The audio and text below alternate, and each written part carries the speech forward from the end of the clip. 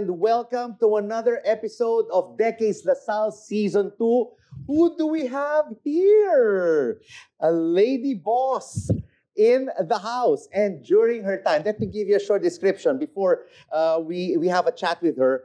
During her time as a public official, she was dubbed as one of the most popular cabinet members during the Aquino administration from 2010 to 2016. Popular because she was the strictest government official. Because you, all of you, have to pay your taxes. So, in this Decades La Salle Season 2, we'll get the softer side of no less than former BIR Commissioner Kim Henares. Hello, Kim. How are you? I'm fine. Thank you for inviting me. How does it feel to be back here at the De La Salle University campus? I'm always happy to come back to LaSalle because Why? every because every time I come back, I see something new. Mm. So I always said this is a school I don't regret paying my tuition fee to because every time they put it back and build something new, something's going on. That's And right. So now that you're back on campus for this interview, what new thing have you seen or noticed on campus? Actually, while driving through Taft Avenue, I saw several halls which Ah. I never knew was there. Yeah. So I for I don't I cannot keep up of what the names are. I think there were two halls going through here, no, in between the condominiums. Oh, that's right. Yeah. Quite a number. Yeah. Even when I graduated, well, my entry level was 84, graduated 88. It was just basically three buildings the LaSalle building, the SJ building, and the St. Benilde building. Yeah, and the middle ground of football court. Where, where's the football field? I don't know. Baka it's upstairs. Maybe it's upstairs, it's not anymore Yeah. on the ground. So, um, you were only in De La Salle Taft, Kim, for two years. Two and you graduated here Yeah. uh, in La Salle. So, where were your first two years of college? Uh, I spent one semester in UP, Mhm. then one and a half semester in Holy Spirit.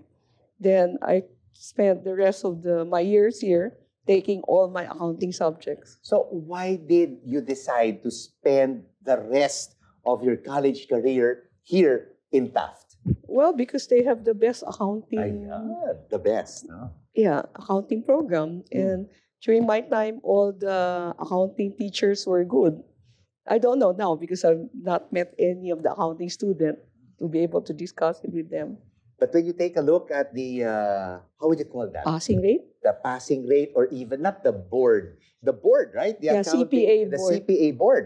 A lot of our Lasallians are usually at the top 10 Yeah, list. Yeah. What makes uh, LaSalle uh, thrive uh, in accounting? Well, I guess they have first, before you can major in accounting, you have to pass a departmental exam, Mm. right? And I think very few people pass it, uh, right? And then when you get into the accounting program, I'm talking about my time, okay? I don't know about now. Then when you get into the accounting program, you have to maintain grade point average. Mm. If not, you're kicked out of the program. And what was your grade point average, Kim? High enough not to be kicked out. I don't Yes. recall anymore. It's high enough to be in the dean's lister. Oh, there you go. Oh, yeah, And to be in the dean's list, Yes, you yeah. have to have at least an average of 3.0 and above. You Ah, still okay. remember? You still remember No uh, more. your your final grade? No It more. was a, maybe it was a four, Kim. You're I just have being no too idea. modest. no, I have no idea anymore. I'm So- not. I'm a student who's not very particular about my grade. Okay. I'm very particular about the teacher teaching me Yeah. well. So, do you still remember your uh, accounting professors? Among them, uh, Professor Magpayo. Hmm. Uh, I think the others I don't recall anymore. And why did you decide to take up accounting? Why not political science, management, marketing? Well, first because I topped the departmental exam for Mm. accounting. Mhm. And second, there were some professor advised me that uh, you should take accounting as your first degree so that you can take the CPA board. Now, if you want, let's say economics, you can always have a master's of economics. Right. right? Then I was deciding to go to law school, Mm. and I don't want to be a litigator. I really want to be a corporate business lawyer. So accounting is a perfect match. Yeah, that's right. They say that's the best combination no, to be a CPA lawyer. So from Taft, you migrated all the way to Katipunan. Katipunan, HV de la, de la Costa, Ah, because that's where Aten, that's where the school is, the law school. so you went to uh, UP Law, and then you no, also not UP Law, Ah, Ateneo, Ateneo Law. Law, and then you also went uh, to Georgetown. Yes. No? Uh, were you always uh, studious? Did, were you all? Did you always love to study I love numbers? studying. Mm-mm. I love studying, period, whether numbers or anything, just studying. I think life is really a cycle of studying. Mm. And if you decided not to take up uh, accounting or even law, what would you have been if you if you did not take up Doctor, these courses? Ah, a doctor. What I kind want- of doctor? I want to be an oncologist. Oncologist. Yeah. Oh, that's what Specializing in cancer. Yeah. Oh, oh. why? Why did you want to be? Uh, if ever you did not become a CPA lawyer, why a doctor specializing in oncology? First, a doctor, because I think uh, being a doctor, you don't have to ask the reason why you were born in this world, right? Mhm, mhm. Your relevance is immediate, right? Uh, oncologist, because I find uh, I want to find a cure for cancer. That's right. Yeah, so that's why it's Yeah, it's a very deadly disease, and uh, up until today, yeah. Although some find a cure people said, "Why do you want that? You want to get uh, depressed?" Well, I said, you know, the role of a doctor is to help, Mm. but the doctor cannot say you live or die. You can only help. It's in God's hand whether you live and die. So why should you be depressed? And in your two and a half years here in LaSalle, what made it memorable, apart, of course, from being one of the top accounting schools in the country? Well, in hindsight, this is also the school where my husband graduated, Hmm, and we graduated not Together? yeah, and without us knowing that we graduated together, Uh-huh. October 1980. And what did your husband take? Poli sci, Policy, political science. Yeah. And here on campus, where would you be hanging out? I don't hang out. I, I come to school, go home, come, uh, go to work with my dad, then go home, then come to school. It's just routine. So home, school, school, home. School, home, and work for my dad. for your dad. And were you active in any uh, extracurricular activities here at De La Salle University? Only in the Anglicom. Most people, Yeah. in, yeah. Uh-uh. Were you active also in, in school politics? No, Uh, no. no. Actually, You're Like- apolitical. Yes, actually, I was saying if you ask all my classmates, I'll be the last person they'll think of that will go to government because it's never been in my career plan. And uh, we'll get to your uh, government career uh, in a moment. But first, after uh, graduating uh, from uh, De La Salle University in 1980, you came back in 1982 to 83 and you wanted to give back. You wanted to teach the Salians to be top accountants. The purpose of coming back so I was asked. you were asked to teach. Yeah, You were asked to teach. Teach, yeah. So how was it like teaching, uh, being a student, graduating, and then two to three years later coming back here on campus to teach the Salians accountancy? I appreciate the difficulty of my professor before, Mm. all the difficulty they might they must have faced, no, because it's tough teaching student, especially some student always try to cheat. cheat? yeah, Do Lasallians cheat? some of them. But it's so hard to uh, cheat when it comes to accounting because you have to balance your ledger up That's to the what you last think. centavo. That's what you think. there's, a, there's a way. They copy from each other. and, and surprisingly, Kim, why did you only teach for one term when you could have spread your knowledge to many more Lasalians? if I had, you know, if I had taught for more terms, I would have been known as a terror teacher here. Okay. no? Oh my God, a terror Because- teacher not only in school but a terror as well in the in government service. All right. If I had continued teaching that class, I taught two classes in that term. okay. I would have flunked three fourths of the class Did you really flunk three fourths of your class? Oh, I passed all of them. Oh, oh, wow! Then she she would really have the greatest class. I would take her class for accounting. So why did you why did you why did you pass them if they if three fourths of the, your students deserve to fail? First, it's accounting two, so they have to go to accounting three and four pan. So it's not as if when they pass my class, they go to accounting already, you know. Then secondly, it, the term ends on a Christmas. And third, I said I don't want to teach anymore. So I said, okay, I'll just pass everyone. That's why when people got their class card, they were not, they were so frightened they didn't look at it. But then suddenly you'll hear everyone screaming outside. and those three fourths. Uh, As long as you did not drop the class, you passed. you pass, you Yeah. pass. So those who dropped the class regretted it. oh gosh, that's right. And I'm sure they were all lining up The next term, the next term to take your class because you passed everyone. yeah, but I was not teaching anymore. and okay, uh, from hindsight, no, if you fail three fourths of the class, those those who those who deserve to fail, what grade did you give them? If you still remember, the lowest, ours is four, the highest, no, the one is, one is the lowest and four is the highest. yeah, then fail, fail is one or zero. Zero. Zero, Ah, okay. So that those who deserve to fail, but you still passed them, you gave give them me one. one, yeah. Okay. That. Oh my goodness. My gosh. Thank you so much for your kind heart. That uh, a lot of these Lasallians who got one, maybe right now, are working for top accounting firms. Do you still know some of them? I don't think they were because they were not accounting majors. Ah. They were from the other business majors. Mm. So your uh, two and a half years here in LaSalle, what did you bring with you out to the real world from the Lasallian education? Well, I guess the Lasallian education is making you down to earth, Mm. looking at things on a practical term. Uh, Isn't that the same as well for others for other schools? no, other school are uh, more well because LaSalle is really famous for its business course and engineering course, while the other school are more famous for their liberal arts. Right, liberal arts are more philosophical, more up there. Mhm. Right. Here The- we're, we're grounded. yes, here we're we're, grounded. Yeah. Mhm. Do you still remember your student number? No, Do you still have your student ID? I don't think so.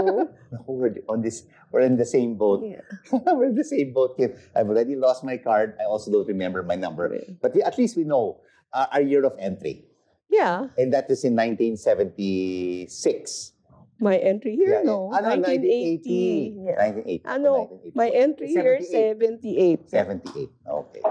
So, uh, wow, what a memorable uh, stay here uh, in LaSalle, no? But of course, you've taken those values, you've taken that education to your government service. So, why did you decide, of course, from private practice, why did you decide to throw your hat into the lion's den and join government service? Uh, my first stint in the government service is was I was between jobs. Mm. uh, and I met Commissioner Parayno, who passed away recently, when he became commissioner of in, yeah Mm. when he became commissioner of internal revenue, and we just met on a reception January two, and he asked me to go to BIR to help them because they were going to impose VAT on financial institution. And when I went there, January 7, I wasn't able to leave anymore. So he asked me to help.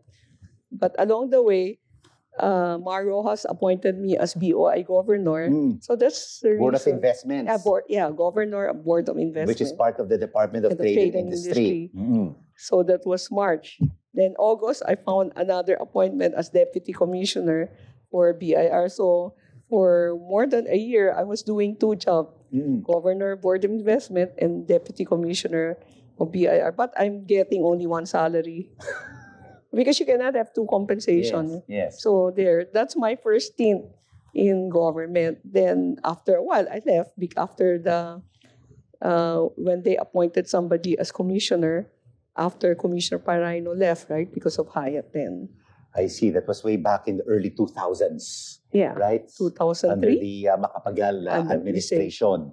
So, um, what was the experience like? Uh, would you have wanted would you do you did you love your your service uh, in government or would you have rather stayed in the private sector? That's my first stint. My second stint is with Pinoy. Mm. My stint with Pinoy was very gratifying because we were able to do something for the country. And during that time, I always said that being commissioner of BIR is a difficult task in itself. But I think among the commissioners, I have the easiest task because the president and my secretary of finance allowed me to do things in the way I want to do Mm. things there. So they did not really meddle, and we were able to do what we have to do. But you were called uh, more like a terror, a terror, a very strict and uh, disciplined uh, to- BIR commissioner. According to PNoy, I'm the person that people feared most in the Yeah, Philippines. feared, yes. And how important is it, especially now to all our Lasallians who are watching us right now? How important is it, Kim, for people to pay their taxes? Well, you know, if you don't pay your taxes, there will be no roads. There will be, you keep on complaining about the airport, there will be no airport. Mm. Uh, you're complaining about, as it is, we're not performing well in education, right? In public school. There, there's a study that grade five student doesn't even know how to read, right? So if you did not pay taxes, there won't be school. So probably grade 11 people won't know how to read, right? What else you won't have? but people are saying, look at the roads today. Ang dami pa rin potholes. We don't have enough bridges. We don't have enough uh, budgets for the education. So why should we pay our taxes? Because our hard-earned salaries, which and part of it, which we pay for taxes, we're not seeing in the government service. the first place, Services. yeah, but our obligation as a citizen is not only to pay taxes, but to monitor that it is spent properly. Mm. And among the process of monitoring spending it properly is electing the right people to govern us. You cannot complain that it's going to somebody else's pocket when you are the one who elected them, right? That's right. So it's it's it's also on you Yes, because you're electing these government officials, so we're not doing their, their job. job. Yeah, right. yes. Yeah. And of course, you, you you need a credible, trustworthy government officials to run our services. Yeah, and we should run our service in a transparent manner, no? Mm. so that people will be forced to be honest. Mm. And, and and during your time, um, what what reforms did you institute to improve uh, the payment of uh, of taxes among our kababayans? Yeah, actually, we were the one who implemented the EBIR form online. no? So we instituted it in such a way that if you're not paying any taxes, you're just required to file. You do it online. That's why now you can you will no longer see long lines on April 15 because people who don't have to pay just file it online. Mm. and we've been then that's been used up to now. Uh, you can actually So a lot of the best practices that you've instituted during your term continues to be used in the succeeding administrations because we always see uh, a, a disconnect from one administration to another, right? I mean, some- yeah, that's our sickness. Yeah, that's our sickness. We always shoot ourselves on the foot and Yeah. we rarely discontinue the, the practices or the initiatives of the previous administration, even though It's they're great good. initiatives. Yeah, because uh, unfortunately for us, we there normally they discontinue because they cannot get credit for Mm. it. And we want to know a little bit more about your personal life. What time do you start your day? Depends. Now I'm semi-retired, Huh? so yeah, because I just have a few consultancy. Mm. Depends. So if I have a meeting early, I can wake up early. If I have a meeting late, then I, I if I don't have anything to do, then I wake up late. But normally, I get to bed around past midnight already Why? Why do you go to bed past midnight? because I catch up on everything else that's happening in the world Oh. and in the Philippines. Do you still like watching the news? I do online. I Ah, don't. on demand. yeah, On demand. yeah. Like what kind of news do you watch? I Just don't. national news, international news, or Both. do you only watch uh, opinionated programs? don't I seldom watch opinionated program. I just read the news. Mm. Yeah. So it can be local, it can be uh, overseas news, international news. Mm. So a lot of people also wanted to know, uh, Kim, do you have a social media account? Are you on Facebook? Yeah. You're on Facebook. Yeah, Wow. but my posts are more spiritual. Okay. Why spiritual? Well, I guess uh, for me, because I'm a Christian, Mm. I think part of the role of a Christian is to be a witness to other people and to share uh, what God's message is. Mm. And basically, what I share in my Facebook is my devotion every day. You know, every morning I wake up. I Who do is your devotion to? What do you mean Devotion to Mother Mary. I'm a Christian. Ay, ah, Christian. Yeah. Christian. So I don't worship saints or Mother Mm. Mary. But we all believe in God, right? Yes. Believe in God as the Almighty. Uh, um, Well, my definition is as long as you know the salvation message, Mm. then you're a Christian, whether you're a Catholic or whatever sect. All right, teachings, teachings about um, our faith and our. Uh, but do you also post uh, things about uh, your you're attending a party or No. with friends? Why not? That's that's that's that's that's for Facebook. That's social media. Because for me, parang it's um, a form of flaunting, Mm-hmm. And I don't think it's for me to do that. Right? So are you just on Facebook? I'm sure you're also on TikTok. No, I'm not on TikTok. wow, that means. But for you to say that you're not on TikTok, that means you know about TikTok. Yeah, and I know that the United States is banning it. Oh, there you go. she really knows the news. Yeah. uh, what about IG? Are you familiar with IG? Instagram? In- Yeah. Oh, there you go. My God, the BIR commissioner knows Instagram. Are you on Instagram?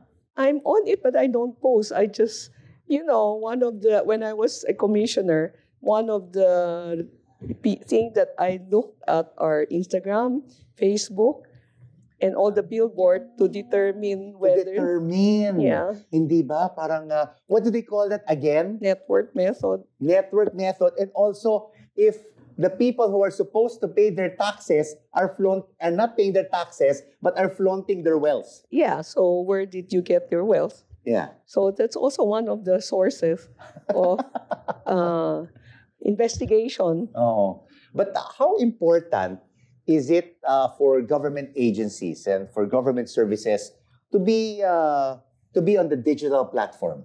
I think it's important to communicate and to inform people what's going on. Uh, for in in terms of those things, I think it's important to be in the digital platform. Mm. So, uh, are you also on Snapchat? No, but I'm sure, uh, Kim, you were on Friendster before Facebook. no. Uh, see? wow! So just basically Facebook, and then you have an account on Instagram, Yeah. which has no posts. No, yeah. And I think I have an account in X or Twitter, Ah, there you but, go. the- but I don't have a post also Ah, so there. basically, the, the, the, uh, I'm a lurker. you're a lurker. There you go. There you go. But uh, what do you think right now of uh, the use of social media, especially for news? I think you have to be the problem with social news in the social media is you have to be able to discern whether these are real news or fake news. Because there's a lot of fake news in social media. Mm. So you might be misled by what it says, right? And I think uh, for the young people, they should minimize using social media and be more interact personally with people because I find that they're because of too much social media, they don't really interact with human beings, Mhm. right? Which is true, Yeah. no? But you know, we on Decades of South Season 2, we have uh, guests, some of the top social media content creators. And guess what, Kim? They have 1.3, 1.6, 2 million followers.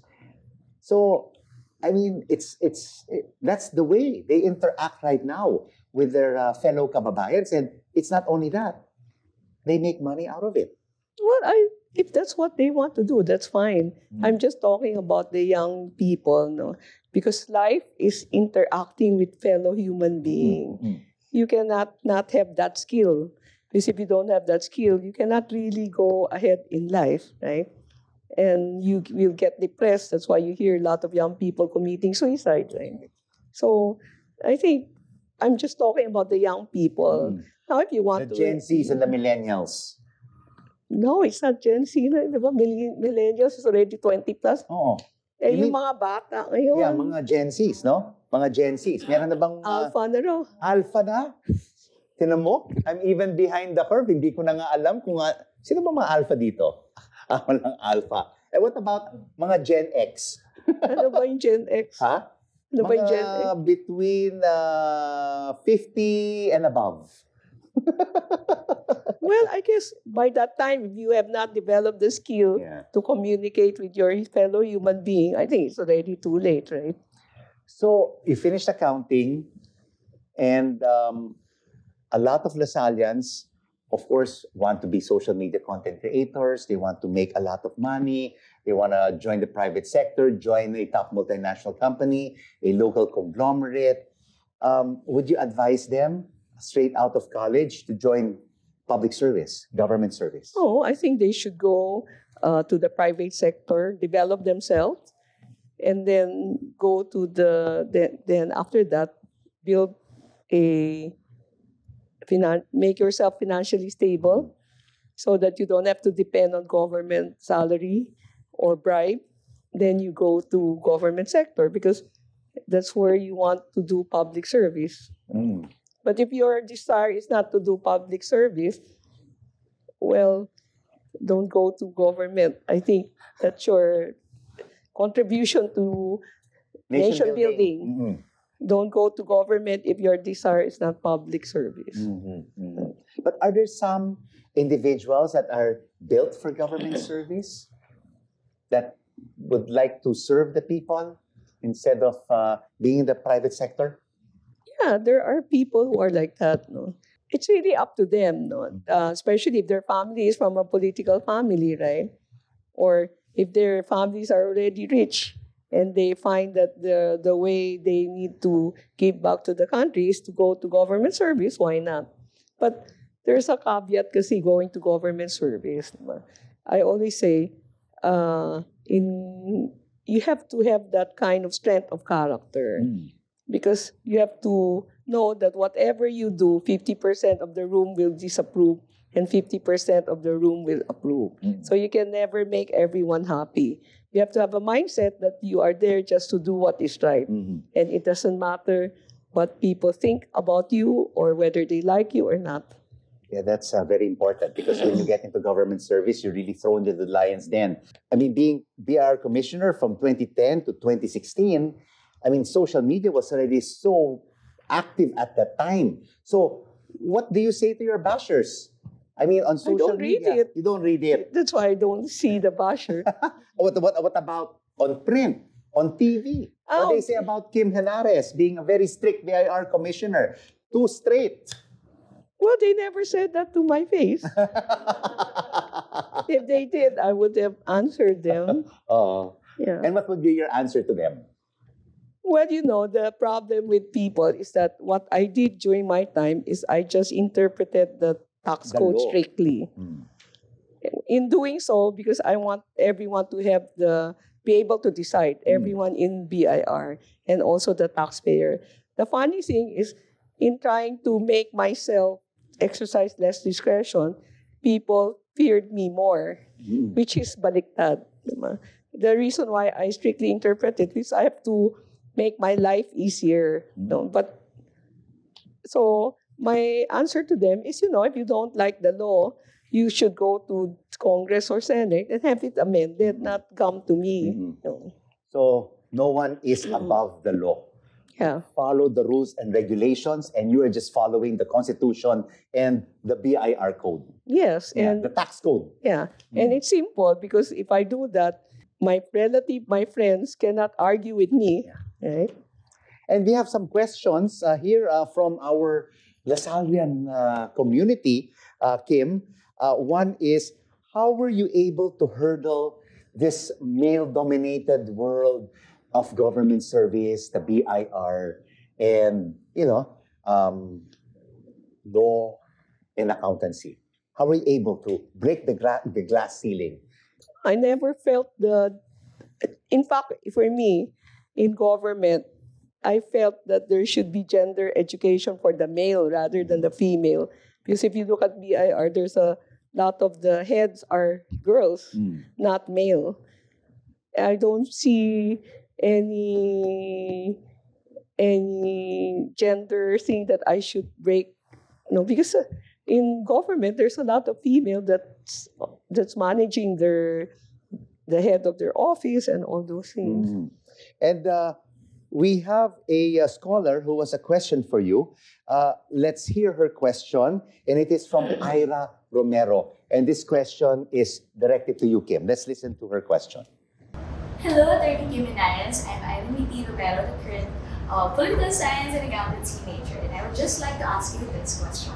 Given that our field of study is a borderline between public and private service, I would just like to ask you the current challenges you are facing, alongside a call for motivation for the current Lasallian scholars who wish to pursue the same path as you. Well, I think first you should uh, learn as much as you can about your field of study. Uh, it's continuous improvement. No? You, uh, learning never stops. No? And secondly, I think, uh, like I said, uh, you should be at the stage of maturity where when you go to the public sector, you are mature enough to face all these detractors, all the influences that will be put on you, no? to be able to uh, do what is right. Mm. That I am assuming you're going to public sector because you want to do what is right. Because otherwise, right, we don't have to discuss it anymore. Then while you're in uh, in the public sector, of course, you still continue to learn uh, wherever, whatever field you are in. There's always something new going on. Like for example, in taxation and accounting, there's always new businesses, new product. So you have to be on top of all these things. Mm. So you should to be able to determine how you will, if you're in accounting, how you record it. Is it an asset? Is it a revenue? And how you will tax it. Uh, when do you tax it? What the valuation and all those things. And of course, globally, there are movements. No? I'm a member of a think tank globally talking about reforming tax in the international uh, field, no? about making sure taxes are collected fairly among all multinationals. no? So these are all live issues that's going on. So you have to keep yourself abreast on this. Whatever you learn, whether you're in the public, private, or public sector, it you it's beneficial to you. It makes it gives you advantage when you go back and forth. No? So Mm. Mm. So we have to continue to learn. We have to continue to be creative, innovate. Mm. Every day is like uh, still a learning process for all of us uh, professionals, Yes. right? Whatever profession you may be. Yeah, whatever profession you may be in, you have to continue the learning process. Yes. Okay. Um, uh, uh, one other question from a student uh, from LaSalle that wants to ask you is that um, what challenges did you face after graduation when you started um, your profession, when you studied law, when you, when you got, when you passed the board, when you took up law, you went to the states uh, for further studies, and then work in the private and uh, public sector. What challenges did you face? What problems? Well, I think the one problem also, be, uh, I I mean, there was a point in my life where I have some problem with my employer, mm. right? Because I'm a compliance officer. I think a compliance eh, officer is the most difficult task in any corporation because you're a conscience of the company, right? So it's a competition between the company wanting to earn money and you as a compliance officer telling them you cannot do it this way or that way, right?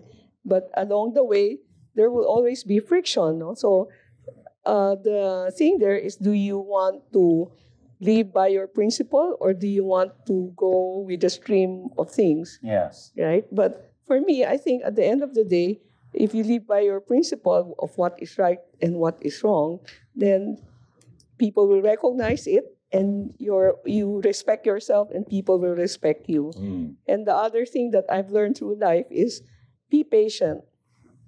If it is for you, it will happen. Don't force it.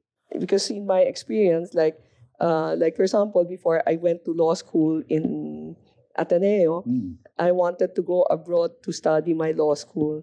My dad said, uh, "Why don't no don't why don't you just study in Ateneo?" So I did not argue. Mm. So I studied in Ateneo. Then when I was studying in Ateneo and taking the after graduation, taking the bar review, my dad said, "Isn't it you want to go abroad to study? Why don't you go abroad and study? Don't take the bar anymore." So that's how I went abroad. Then when I came back, my dad said, Isn't it you want to take the bar exam? Why don't you take the bar exam? That's what I meant about being patient. Yeah, being Being patient and patient. of course listening to the wisdom and advice of your parents. Yeah, eventually, if it's good for you, it will be given to you.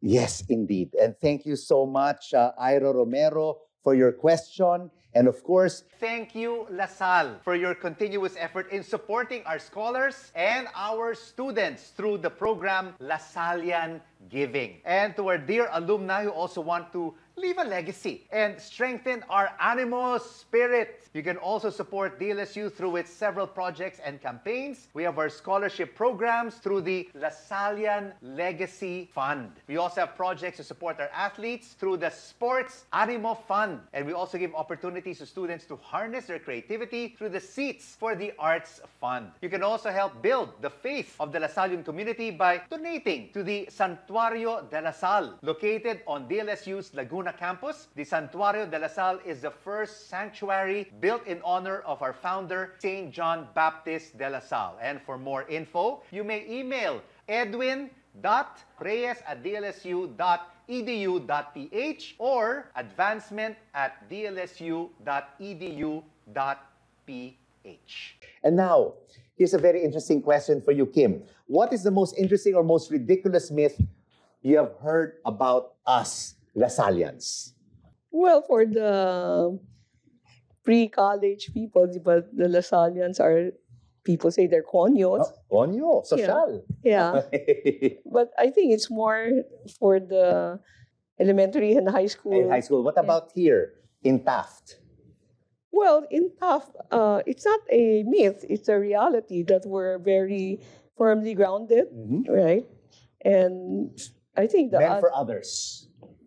Men for others is the other side, right? no, we're also men for others here. That's one thing. Uh, the only thing I think lacking to me in tough is the spiritual aspect. It's Mm. not so much emphasized, Mhm. right? Yeah. Brother Bernie, listen, ah, we have to enhance the spirituality of all Lasalle. Yeah, it's more the academic, the sports. Mm. And uh, lastly, please complete the sentence, Kim. I am a Lasallian. Of course, I am blank. I am continuously improving myself, like the institution. It's continuously improving itself. That's wonderful. Yes, we continue to improve ourselves personally and continue to learn. Yes. Uh, not only, uh, I mean, not not only from from school, but also from our peers in, Yeah, in society, yes. right? Yes. Oh, thank you so much, uh, Kim, uh, for joining us and for gracing this episode of Decades LaSalle Season 2. Thank, you for inviting so me. much. Oh, it's wonderful to see Kim in person. I haven't seen her in person in many, many, many years, but I've had Kim on my program to talk about uh, uh, Taxation. taxation, taxation, and that was only via Zoom, right? It was via Zoom. Ah, okay.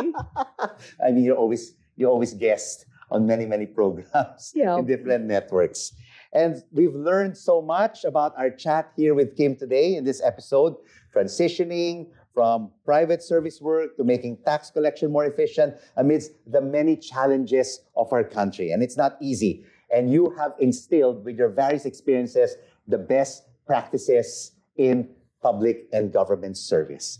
Thank you so much, Kim. We are very proud of what you have achieved for LaSalle in the private and the public sector. Yeah, a lot of it has been because of my LaSalle education. Mhm. Thank you very much. Thank you so much. And with that, we wrap up this episode of Decades Lasal Season 2 with no less than former BIR Commissioner Kim Henares. Maraming maraming salamat po. Animo Lasal. We'll see you again in the next episode of Decades Lasal. Thank you, Kim. Thank you for having me. Decades La Salle would like to thank our sponsors.